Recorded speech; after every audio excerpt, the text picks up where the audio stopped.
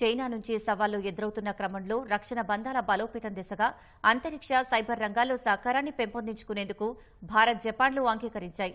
ఏడవ డిఫెన్స్ పాలసీలో భాగంగా రెండు దేశాలు రక్షణ భాగస్వామ్య బలోపేతానికి కట్టుబడి ఉంటామని సంబంధిత వర్గాలు స్పష్టం చేశాయి. ద్వైపాక్షిక బంధాలను మరింత పెంపొందించే అవకాశాలను కనుగొంటామని పేర్కొన్నాయి.